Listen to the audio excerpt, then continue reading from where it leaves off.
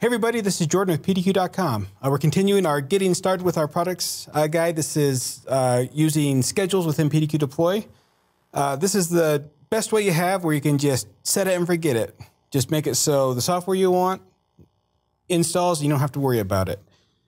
So if we're going to cover schedules, the best way, best way to cover that is come in and click on new schedule. We're hitting new territory here. This schedule we're going to say 7-zip, which seems like a, a weird one to make sure is uh, updated, but you know I'm not not going to judge. We seven is important to you. It's important to you. Uh, and first tar- uh, first uh, target is triggers, or I guess first window here is triggers. These are the options we have where you can customize how often it runs, when it runs. So you have here, you can have it uh, run once, an interval that is customizable based on a whole bunch of different parameters, and you can set specific days it can run. Uh, you can have daily, weekly, monthly, or heartbeat. Uh, heartbeat's a little bit different than it sounds. It's not when the computer checks in. It's if in PDQ inventory the machine shows as off offline, the next time it checks in as online, it will kick off the heartbeat schedule. So it's not if you never reboot that machine, heartbeat's never going to kick off. So it does have a lot of value for reboots or someone is off network that come back on, all of a sudden checks in, kick off the schedule. There's a lot of value in that, but it's not uh, a catch all for everything. So you want to make sure you have everything dialed in. In this case, we're going to do uh, weekly. We'll do every Friday. Here we go. At 1 p.m. Why not? And we're having to start. We're not setting an end date, but if you, after two years, don't need 7-zip, you can go ahead and check that box. It's going to stop the schedule at that time. All right, so the next one, targets. This is who is going to get the schedule when it goes to update. Uh, there's a lot of different options you can do based on OU and Active Directory. Uh, target list, you get text file if you have just like a you know a TXT file or a CSV, or PDQ inventory. That's one I recommend. I mean, I like our products, but this if you build a lot of collections, you can customize based on the results of those collections. So the instead of having a static list, whatever the current environment is, that's what the schedule is going to look at. So in this case, we're going to go inventory collection, see if we have a collection for 7-zip already. Look at that, we do. So we're going to go applications, utilities, 7-zip, old. All right, so this means this schedule is only going to run against machines that have an old version of 7-zip. And if you're using inventory with this, which if we're pointing to inventory, I sure hope you are. Otherwise, that's a wasted step. But as new versions of 7-zip come out, we'll update that for you, including the variable. So as a new version comes out, it'll automatically move down to the proper collection that it needs, and every machine that needs it will then get it. All right, the next one, packages, simple enough. If we're going to say we're installing 7-zip, we better have 7-zip in there. Uh, last one is options, schedule enabled, self-explanatory. If you don't want to use it for a while, you need to put a break, come in and uncheck that, it'll work just fine.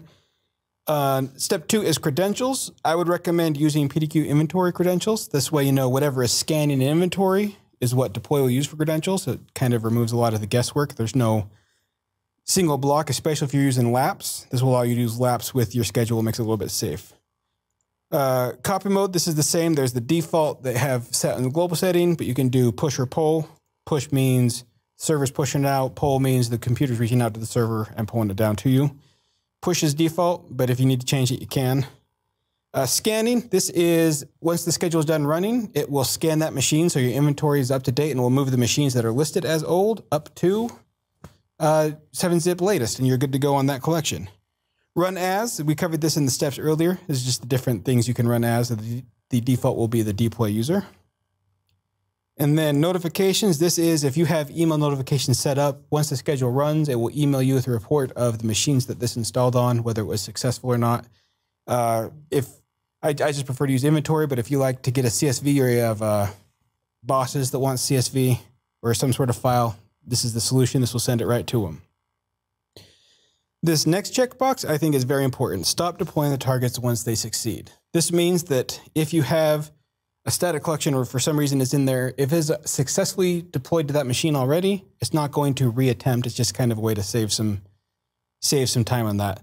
And the added benefit of that is if since 7-zip is a package that we update, if a new version of the 7-zip comes out, they'll automatically be cleared out of the target history. So it will include them once again into the schedule until it successfully installs.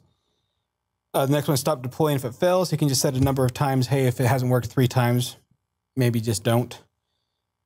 and then the last one is stop deploying if it remains queued for targets for two hours. Uh, there's two hours of the default. You can change that. This is one where for some reason it's stuck. It hasn't completed. It's just kind of a way to say it didn't work out. So don't don't don't uh, keep on trying on that one. Next one is offline settings. Uh, by default, it's use the settings from the packages, but this is ping before deployment, or if it is offline, attempt to use the magic packet to wake it up. Uh, that if you have global settings, you don't need to change it. If this one needs to be customized, you can there. And the next one, this one is for the retry queue.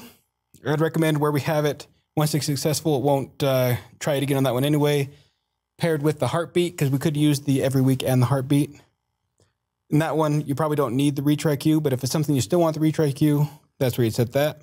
And the target history, this is the list of every machine that it has successfully or unsuccessfully run on. If you have one where it was successful, but uh, you got uninstalled for some reason, you need to reinstall it, you can come in here. If you don't want to just do a one-off deployment, remove it from the, the target history here, and next time the schedule kicks off, it will install for you.